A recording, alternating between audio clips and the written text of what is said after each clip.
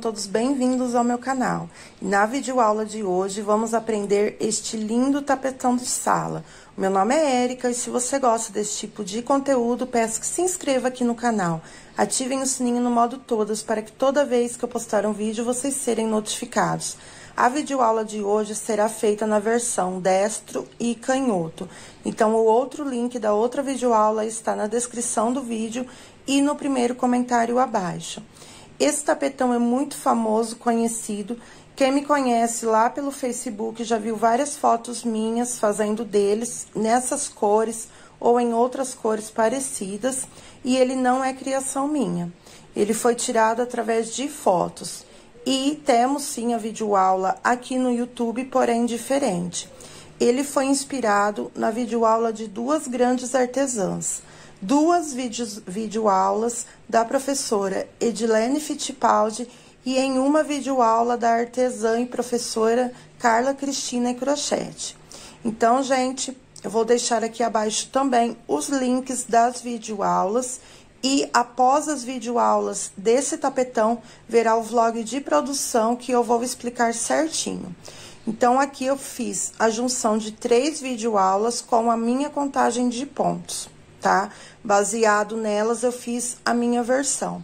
Porque toda vez que alguém vê alguma foto minha desse tapetão, me chama ou nas mensagens das fotos lá no Facebook, é, embaixo nos comentários, ou no PV, ou no WhatsApp, ou no Instagram.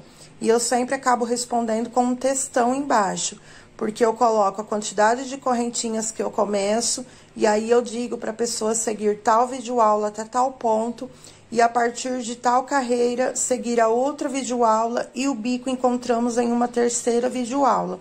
Sendo assim, por isso, eu gravei para vocês. Na descrição do vídeo está todo o material utilizado.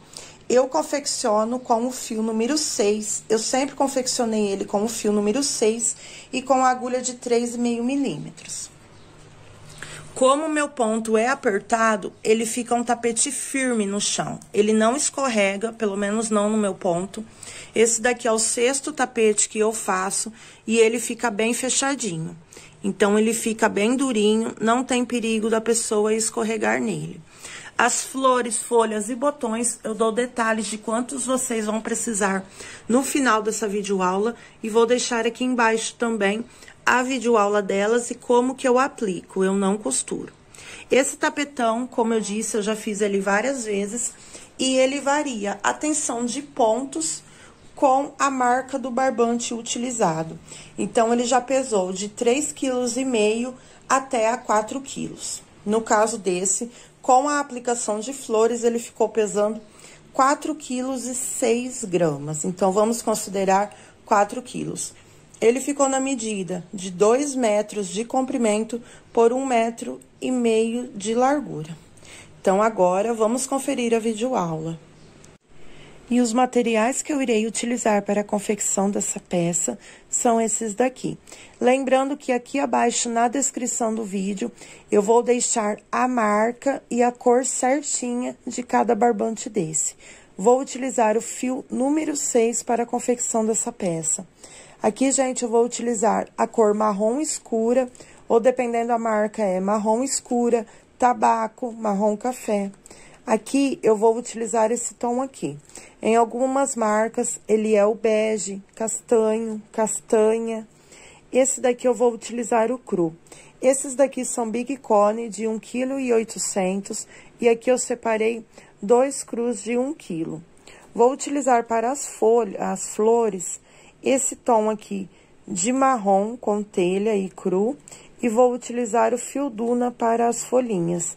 Eu prefiro fio duna porque fica uma, um trabalho mais delicado. Porém, vocês podem utilizar qualquer verde, ou seja verde normal, número 6, ou mesclado também. Vou utilizar aqui a balança para passar todas as informações certinhas para você. E vou utilizar fita métrica. A fita métrica é muito importante para vocês calcularem o tamanho que vai ficar o tapete de vocês. Vou utilizar tesoura para os arremates e para a confecção dessa peça. Para ela ficar mais firminha, eu vou utilizar a agulha de 3,5 milímetros. Então, agora, vamos para a nossa videoaula. Vou iniciar aqui o meu trabalho com a cor castanha e vou fazer 83 correntinhas.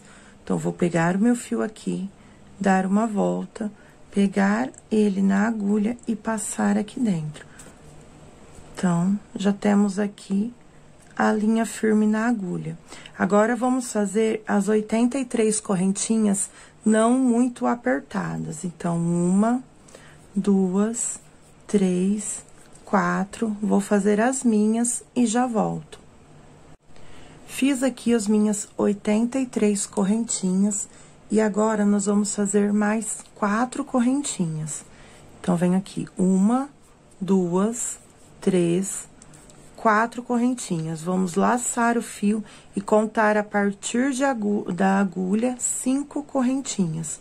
Uma, duas, três, quatro e na quinta correntinha vamos introduzir a agulha, puxar o fio puxar novamente uma laçada e fazer um ponto alto. Essa parte aqui, gente, não será um ponto alto, ela será a alcinha desse canto do tapete. Então, agora, vocês vão pegar aqui, porque essa carreira vai... Vamos pra lá com esse... Com pontos altos, vamos chegar lá na ponta e vamos voltar com pontos altos no mesmo cordão de correntinhas. Então, vamos laçar o fio, vir aqui, ó, nessa correntinha de cima e vamos fazer ponto alto, tá? Então, vamos pegar apenas a de cima, porque depois nós vamos voltar aqui pegando o argo a linha de baixo. Então, vou fazer o meu aqui até na última correntinha e já volto. Voltando aqui, pessoal, e agora uma dica bem importante. Com o tanto de correntinhas que vocês começaram, vocês vão terminar o trabalho. É, então, aqui eu tenho 83 pontos altos. Agora, eu vou dar a dica para vocês fazerem de qualquer tamanho e qualquer modelo. Esse tapete aqui, ele é múltiplo de 4, tá? Então, ele é múltiplo, múltiplo de 4 mais um. Então, como que vocês vão fazer? Aqui, na outra ponta, nós fomos e voltamos.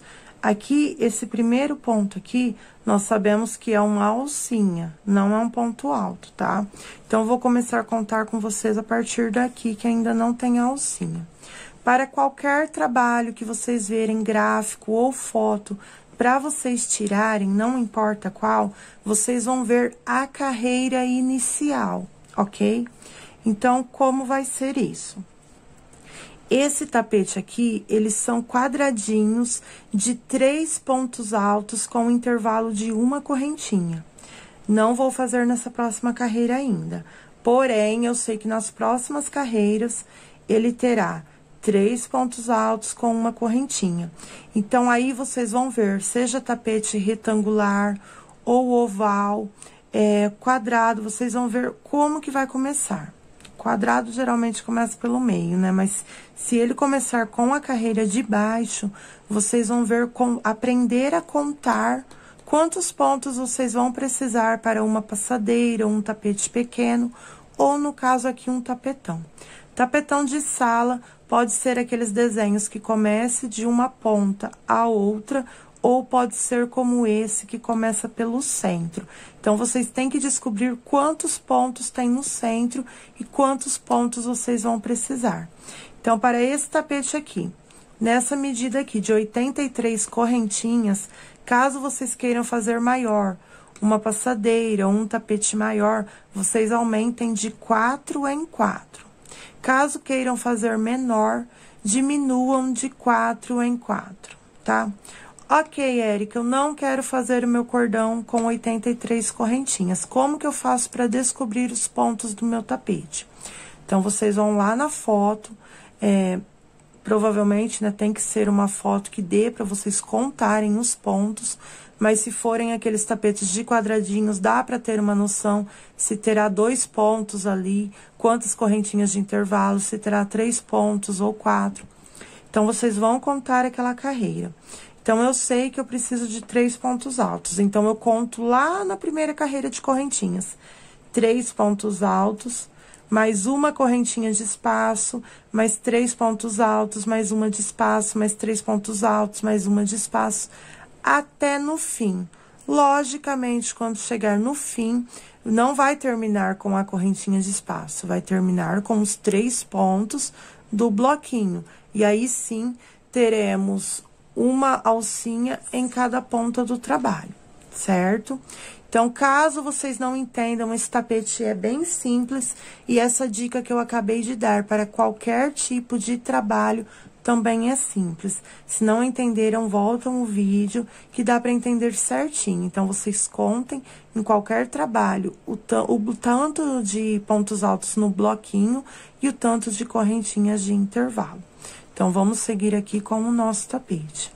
Chegando aqui até com ponto alto, até na última correntinha, vamos fazer como lá na outra ponta. Fazer quatro correntinhas. Então, uma, duas, três, quatro correntinhas. Vamos vir aqui na, no pezinho aqui e fazer um ponto baixíssimo. Então, aqui tenho a minha alcinha. Vou subir aqui para dar a altura de um ponto alto, três correntinhas. E aqui, gente, temos esse fio. Nós já vamos trabalhar em cima dele para já ir arrematando. Então, venho aqui no próximo ponto alto e faço outro ponto alto, no próximo, outro ponto alto, e assim nós vamos fazer por toda a carreira até chegar aqui no último ponto alto, deixando apenas a alcinha. Vou fazer o meu e já volto. Cheguei aqui, pessoal, no meu último ponto alto feito e agora temos a alcinha. Então, vocês não fazem aqui muito largo para caber certinho aqui nessa alcinha. Então, vamos fazer aqui uma correntinha e dentro da alcinha vamos fazer três pontos altos. Tenho aqui meu primeiro, meu segundo e o meu terceiro ponto alto. Vocês vão fazendo e puxando para caber tudo. Mais uma correntinha e mais três pontos altos. Então, tenho o meu primeiro, o meu segundo e o meu terceiro. Novamente, uma correntinha de espaço e mais três pontos altos. Aí, vocês vão ajeitando. Vai parecer estranho, que, que está torto, que não está certo, mas fiquem tranquilos que na próxima carreira, esse canto aqui vai se ajeitar, tá? Ele não vai ficar feio. Mais uma correntinha e a última sequência aqui de três pontos altos. Puxem bem, tá, gente? Então, nós vamos ter aqui quatro é, bloquinhos, né, de três pontos altos, separados por uma correntinha. Então, saí aqui do, da parte reta, tenho uma correntinha, três pontos altos, outra correntinha, três pontos altos, outra correntinha e os três pontos altos e outra correntinha, três pontos altos. Então, tem uma sequência de uma, duas, três, quatro sequências com três pontos altos, tá? Então, vamos fazer aqui uma correntinha novamente de espaço, laçar o fio, vir aqui, ó. Tomem cuidado para que quando tiver bem juntinho, vocês não esqueçam desse pontinho aqui e pulem ele, tá? Então, vocês estão vendo que aqui é o primeiro ponto, então, tem que ter um ponto aqui em cima. E aí, esse é o segundo, então, tomem cuidado para não vir direto para o segundo. Então, vamos laçar o fio vir aqui no primeiro em cima. Esse é o ponto mais chatinho do tapete inteiro, tá? Que aqui, ó, notem que eu vou tentar colocar aqui a agulha. Meu ponto é bem apertado, por isso um pouco de dificuldade. E a agulha vai automaticamente já pro segundo ponto. Olha só, gente. Consegui. Então, agora, nós vamos fazer pontos altos até lá no final do trabalho. Chegando aqui na outra ponta, vamos fazer exatamente como aqui do outro lado. Uma correntinha e três pontos altos dentro da alcinha. Não façam muito, muito largo para ter dificuldade em caber aqui. Mais uma correntinha e vamos fazer a segunda sequência de três pontos altos.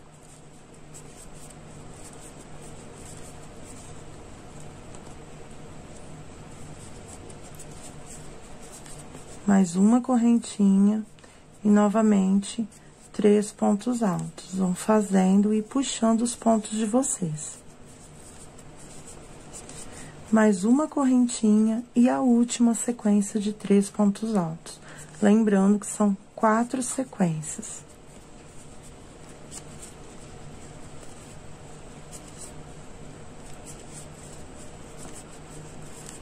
Tem aqui meu segundo e o meu terceiro ponto alto.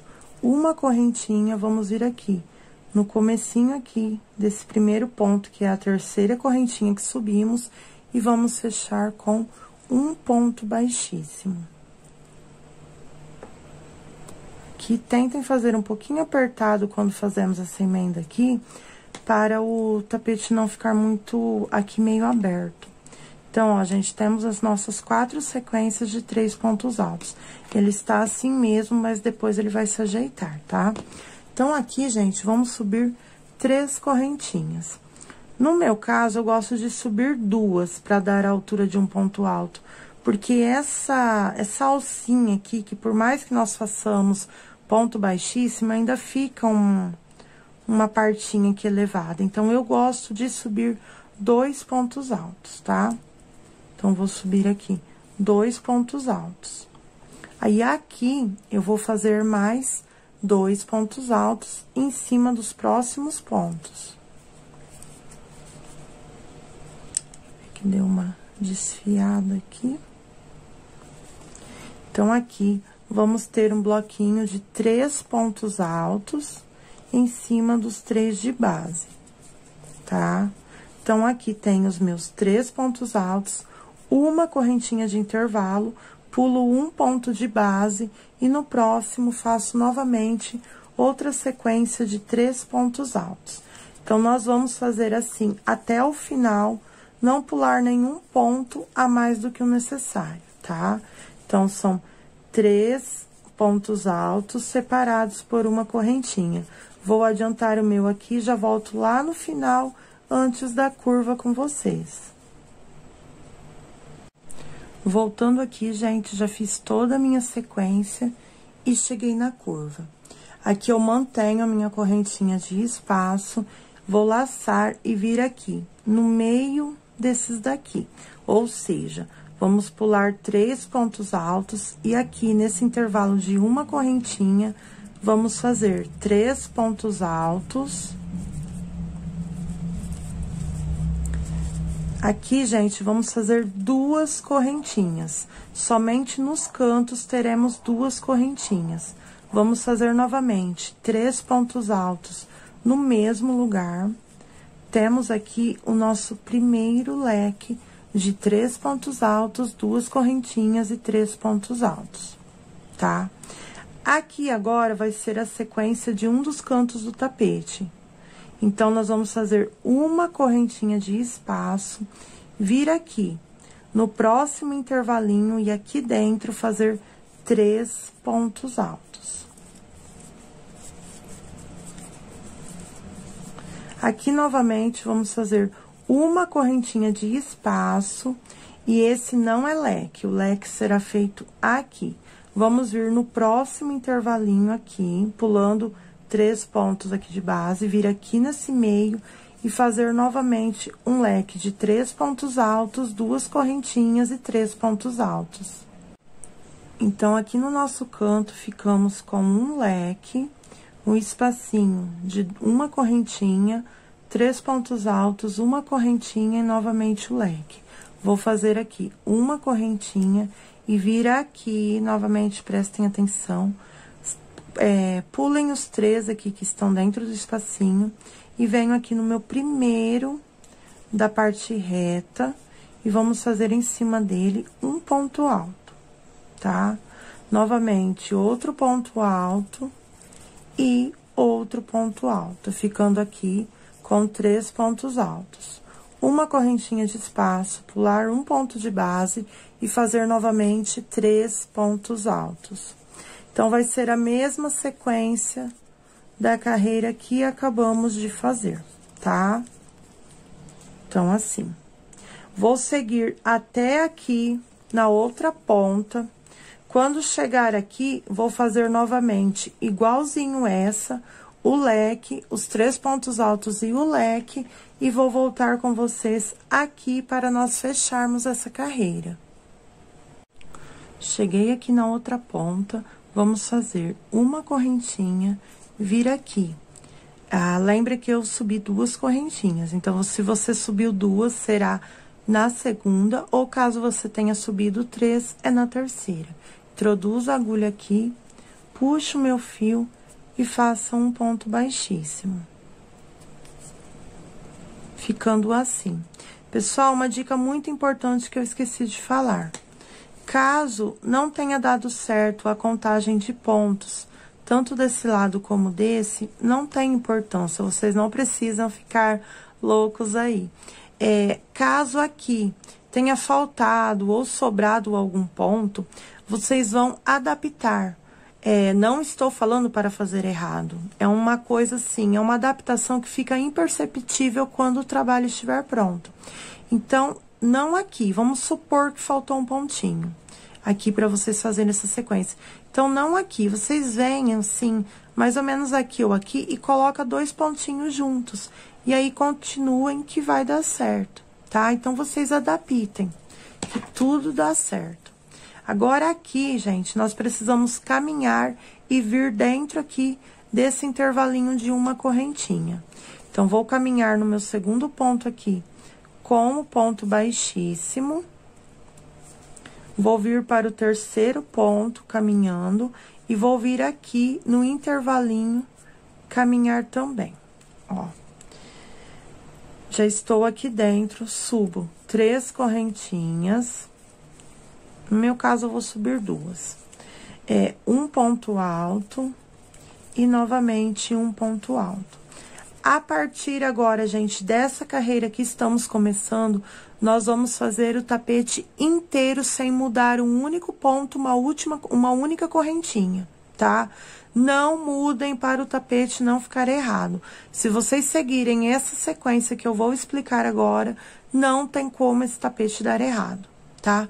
Por mais que você seja uma iniciante, não tem como esse tapete dar errado. Então, fiz aqui três pontos altos dentro do intervalo, faço uma correntinha de espaço, vou vir dentro do próximo espacinho e fazer novamente três pontos altos. Novamente, uma correntinha de espaço e três pontos altos no próximo espacinho. Aqui, essa sequência será toda essa. Vou cortar o meu aqui, porque não há necessidade, e vamos nos encontrar aqui nessa pontinha. Aqui, gente, cheguei ao final do trabalho. Então, qual vai ser a diferença aqui? A única coisa é que vocês sempre vão fazer bloquinhos dentro de intervalos até no leque. Então, no caso aqui, ó, notem que esse bloquinho começou aqui. Então, a carreira de cima, ela vai vir até o próximo. Então, em todos os intervalos desse tapete, temos que ter pontos, certo? Então, chegamos aqui até o final e vamos fazer uma correntinha novamente de espaço, vamos laçar o fio e vir aqui dentro desse leque. Então, vamos fazer novamente um leque com três pontos altos.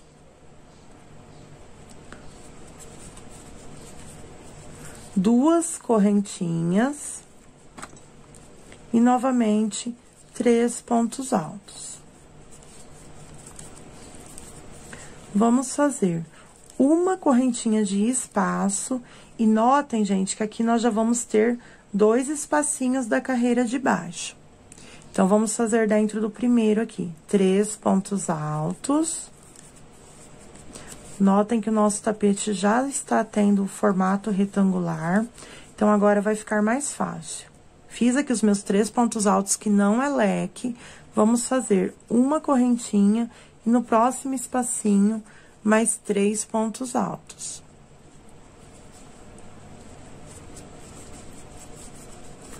Vamos fazer novamente uma correntinha.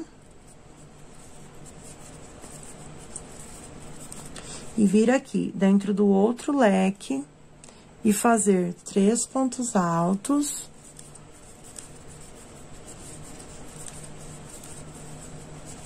Duas correntinhas e mais três pontos altos dentro do mesmo intervalinho, tá? Aqui já estamos terminando a nossa curva. Vamos fazer uma correntinha, ficando assim, gente. Vamos fazer aqui uma correntinha, vir aqui no próximo espacinho depois desse leque e fazer dentro dele três pontos altos.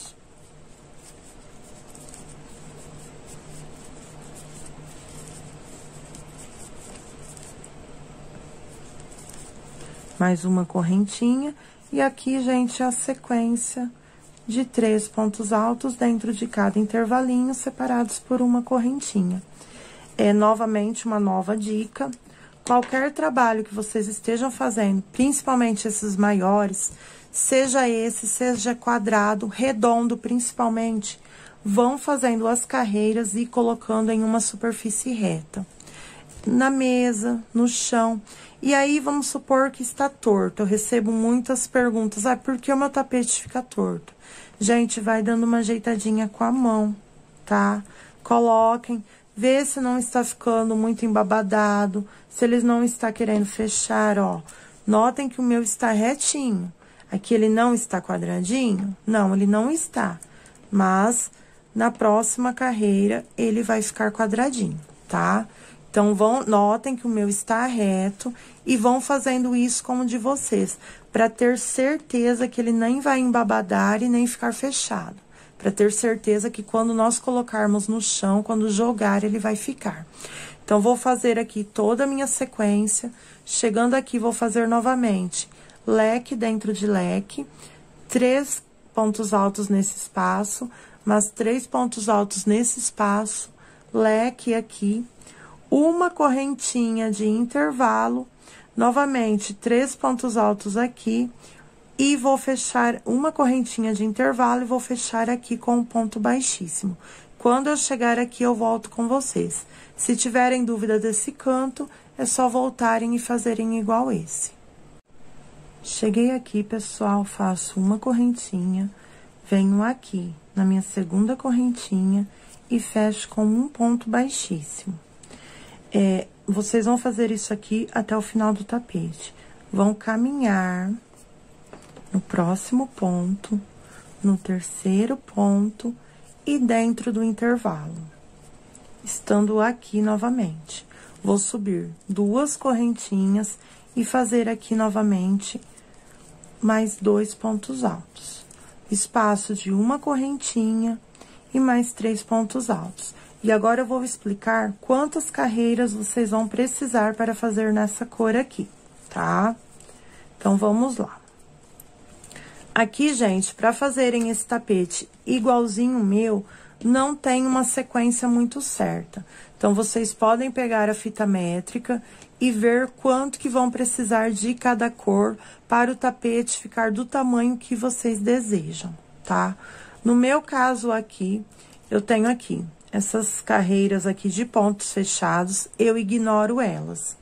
Então, aqui, gente, a partir desta primeira de quadradinhos, eu vou ter nove carreiras com essa cor aqui.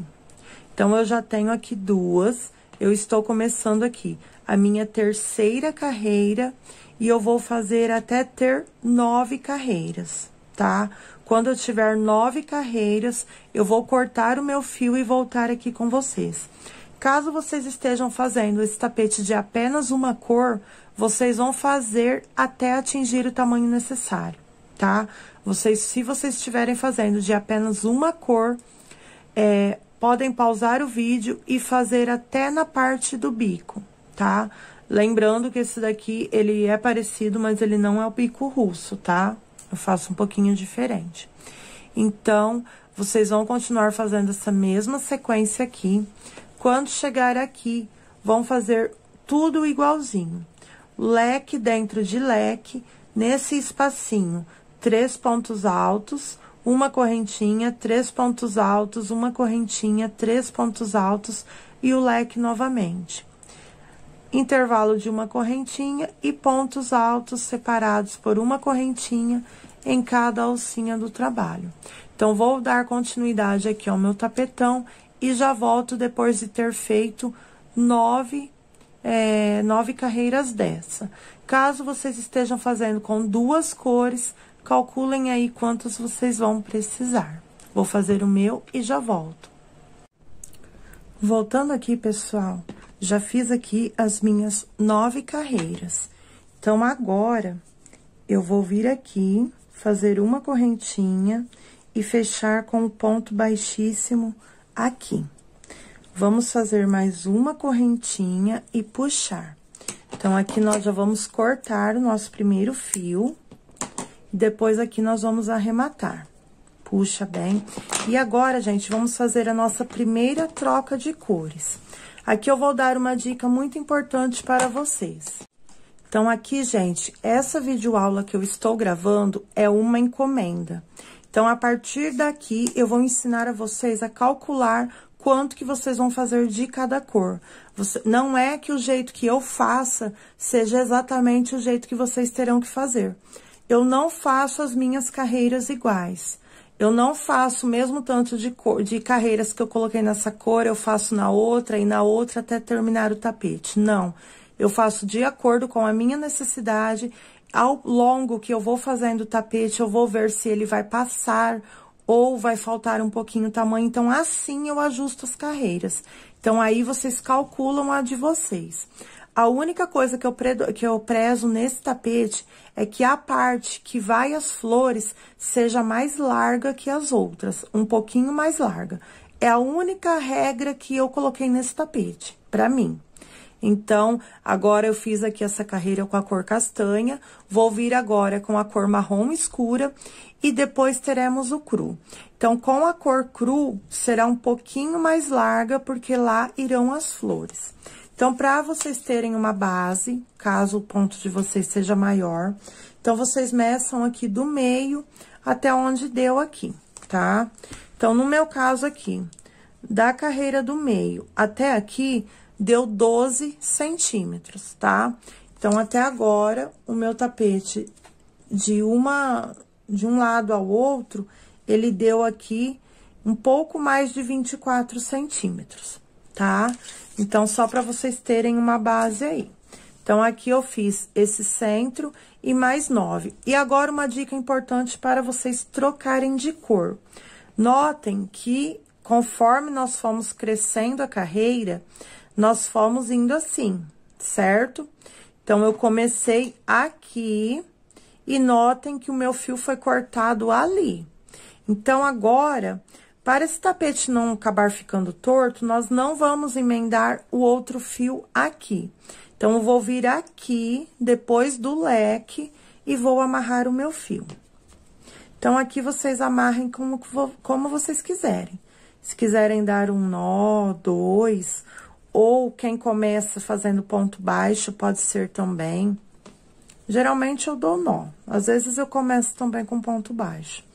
Então, aqui, gente, vamos puxar o fio, fazer o nosso primeiro ponto baixo e vamos subir duas correntinhas. Então, aqui temos a altura de um ponto alto. Então, agora, vou laçar o fio, fazer novamente mais dois pontos altos aqui dentro. Notem que é a mesma coisa da carreira anterior. Então, aqui, gente, uma correntinha, que depois nós vamos arrematar aquele fio. E aqui, vamos fazer a mesma sequência de três pontos altos. Três pontos altos, uma correntinha de intervalo e mais três pontos altos. Então, vai ser a mesma sequência, gente, o tapete inteiro, tá? É, lá nos cantos, o nosso leque. Então, vamos lá. Aqui agora, com a cor marrom, eu vou fazer 10 carreiras, tá? Então, vou fazer 10 carreiras iguaizinhas a essa daqui. Notem que o meu tapete aqui, ele está quadrado certinho, ele já tomou aqui o formato, ele está retinho, não está embabadado. Olha a outra ponta dele, que lindo que ele tá ficando, tá? Então, vocês não vão acrescentar nenhuma correntinha e nenhum ponto a mais, tá? Então, vou fazer aqui as minhas 10 carreiras de marrom, e aí eu volto para medir quanto que ele já está ficando e para fazer a troca de cores. Voltando aqui, pessoal, terminei aqui com a minha segunda cor, que foi a marrom. E notem que o trabalho, ele está retinho, tá? Então, aqui, como eu expliquei para vocês, eu já cortei o meu fio. E eu vou iniciar com a terceira cor, depois do leque lá no início do trabalho. Então, aqui, gente, vamos medir quanto que está ficando no meu ponto. A partir daqui, já dá para vocês terem uma noção melhor de quanto que vocês vão precisar para fazer o tapete do tamanho que vocês desejam. Então, aqui, gente, como eu expliquei, aqui do meio até nessa parte aqui, deu 12 centímetros, certo? Então, aqui eu fiz 10, 10 carreiras de marrom. Então, aqui do marrom, eu fiquei com 11 centímetros. Então, quer dizer que aqui eu acrescentei 22 centímetros. 11 e 11. Então, vamos ver agora com quanto que eu estou já no meu ponto para vocês terem uma base. Então, aqui da pontinha até aqui, eu já tenho um pouco mais de 46 centímetros. Esticando, vamos colocar, passou até de 47. Vamos colocar que temos aqui 47 centímetros. Agora, eu vou entrar com o tom cru. Como cru, eu vou fazer 14 carreiras, tá?